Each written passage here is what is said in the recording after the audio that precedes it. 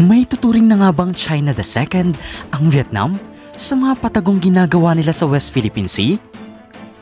Yan ang sasagutin natin sa video na ito. Kaya kung bago ka pa lang sa channel na ito, ay pagpatuloy mo lamang yung panonood at huwag kalimutang mag-subscribe, like, share, at comment para sa video na ito. At huwag din kalimutang i-like ang official Facebook page natin.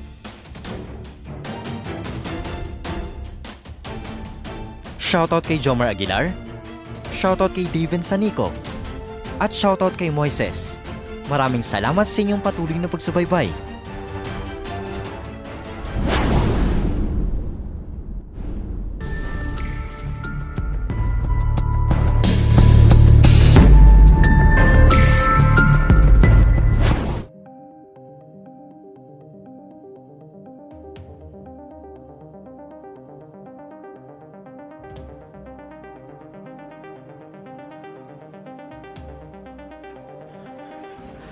Ang agawan ng teritoryo ay isa sa problemang kinakaharap nating mga Pilipino.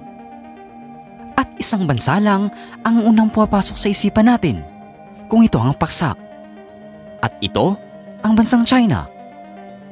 Kung sisipatin mo kasi, ang West Philippine Sea ay unti-unti nang lumiliit ang sakop ng Pilipinas dahil sa karamihan sa ating mabahura ay kontrolado na ng China at nawala na rin ang karapatan natin dito.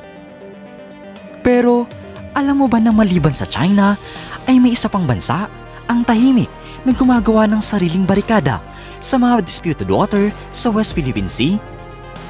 At hindi ito napapansin ng karamihan. At ito ay ang bansang Vietnam.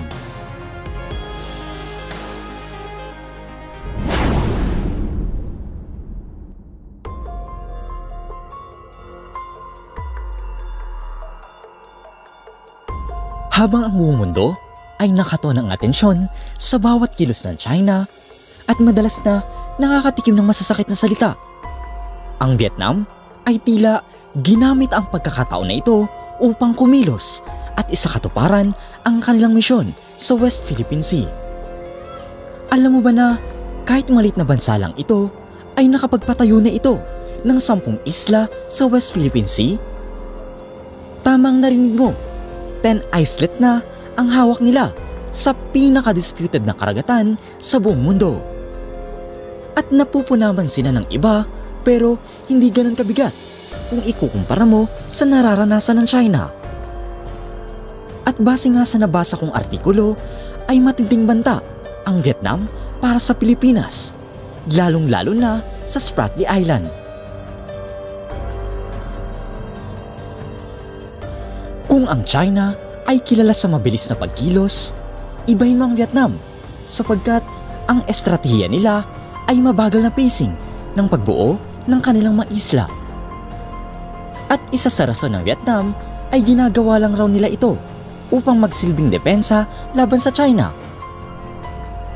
Unti-unti na din nilang naitatayo ang mga buildings sa mga islang ito simula noong 2017. Mautak din talaga ang Vietnam dahil hindi sila gumagamit ng mga malalaking vessels para sa construction ng kanilang mga islet.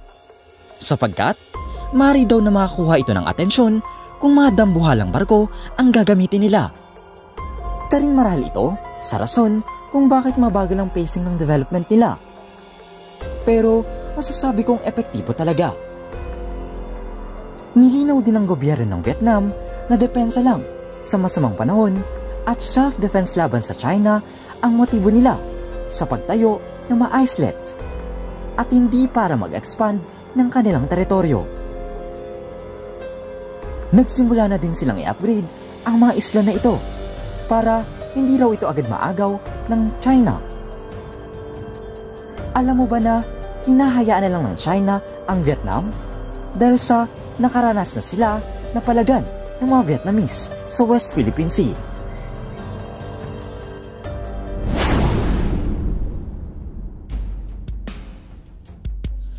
Alam mo ba na ang China at ang Pilipinas ay naghain na din ng reklamo sa ginagawang ito ng Vietnam?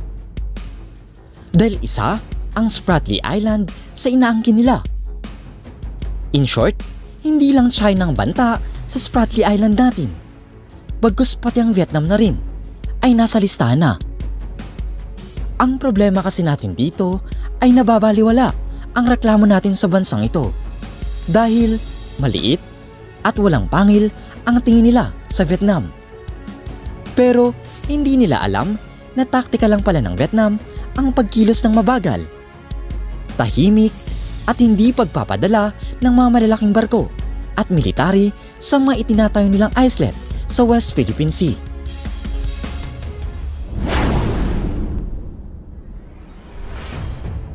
Nakuha na din kasi ng Vietnam ang tiwala ng United States at ng Japan. At kung aanalisain mo, ay parehong pumipigil ang mga ito sa expansion program ng China.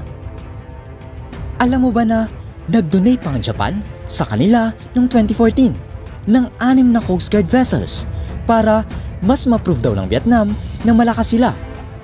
Dahil ang alam ng Japan ay may problema sila sa power projection ability, lalong-lalo na sa banta ng China.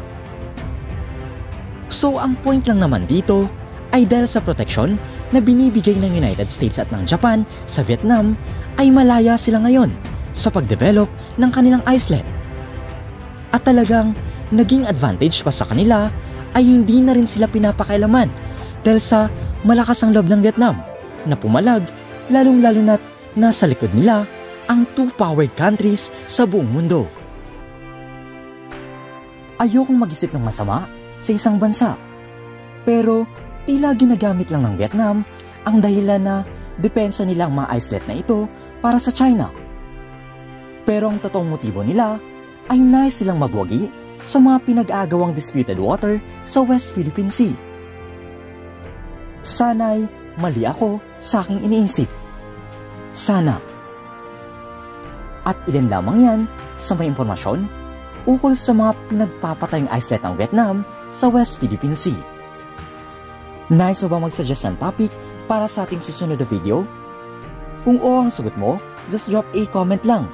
At abangan kung ito ng next song feature sa ating susunod na kaalaman story.